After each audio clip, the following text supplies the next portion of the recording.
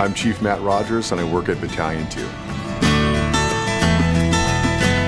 I'm an Operations Division Battalion Chief of Battalion 2 and uh, it's up on Capitol Hill and uh, I love the job. I've been doing it for around five years now, and I just love running calls with the troops and uh, and keeping them safe and making sure we're doing what we need to do, and uh, and then protecting the citizens of Seattle. So it's very gratifying for me to uh, be in that position and uh, and help the people that help the people, essentially. How you Paul? Good, Matt. How you doing? Good. How's the ship? I've known Matt Rogers for over 20 years. Worked with him as a battalion chief for the last five or so. I've worked with him at many emergency operations and also several department projects, including the Mayday program and the apparatus specifications.